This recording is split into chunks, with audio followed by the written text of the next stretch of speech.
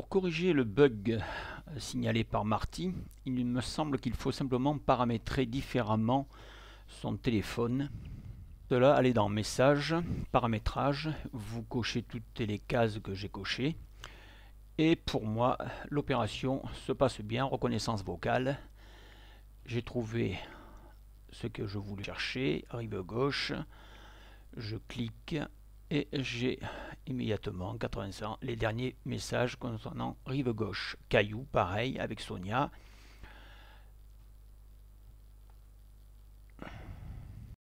Plus mise à jour de Bluetooth Field Transfer.